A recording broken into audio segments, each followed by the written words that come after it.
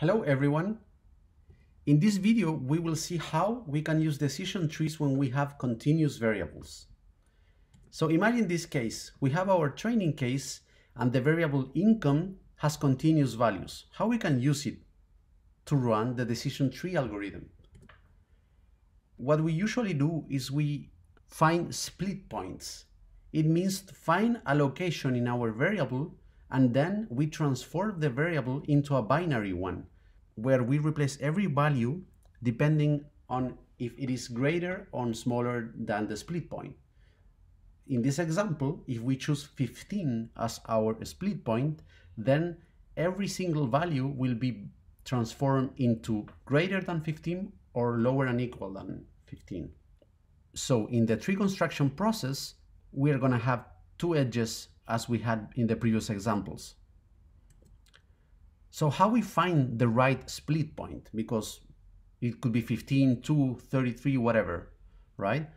So what we usually do is to try three options. One option is to check every single possible split point among a set of values within a grid that start with a minimum like zero, then to a maximum like 100 and a step like one, for example. The main issue with this approach is that it could be too slow if we try too many values. So every time we try one value, what we do is like we split the data and we measure the information gain of that node. So we should choose the best split point as the one that reaches the highest information gain for that specific node. Another alternative is instead of having a, a grid, we just try every possible value we have in our training set. So we choose every number of our potential splits and we evaluate the information gain of that split after we binarize that variable. So in this case, for example, we will try 30.5 as as a split point, 20.7 and so on. The third option, and is in general the most suitable in practice, is that we choose a random selection of points from our training cases and we try just that selection as candidates. So for example, if we said that we are going to choose just three cases, we randomly select three numbers, for example, 30.5, 27.3 and 60.9, and we binarize the variable three times and try each case by calculating the information gain of the node income for each of these split points. And we stick to the split point that generates the highest information gain.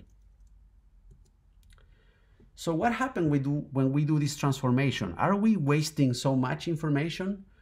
Well, in general, we should keep in mind that what we want to do with a decision tree is just to, to achieve a good performance in classification.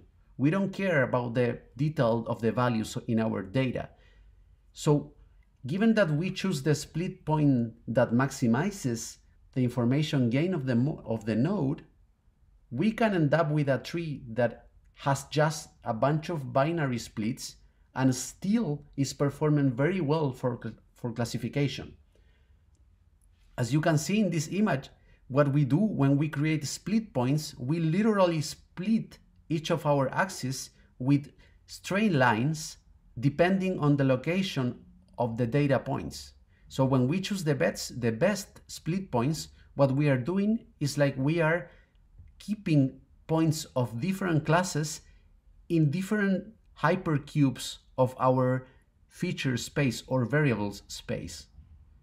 So as far as our training cases can be divided with smaller squares or hypercubes, then the decision tree is going to perform well.